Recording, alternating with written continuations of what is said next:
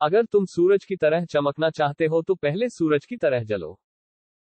सपने वो नहीं है जो आप नींद में देखे, सपने वो है जो आपको नींद ही नहीं आने दे। महान सपने देखने वालों के महान सपने हमेशा पूरे होते हैं। अपने मिशन में कामयाब होने के लिए आपको अपने लक्ष्य के प्रति एकचित निष्ठावान होना पड़, मेरे लिए नकारात्मक अनुभव जैसी कोई चीज़ नहीं है। मेरे लिए नकारात्मक अनुभव जैसी कोई चीज़ नहीं है।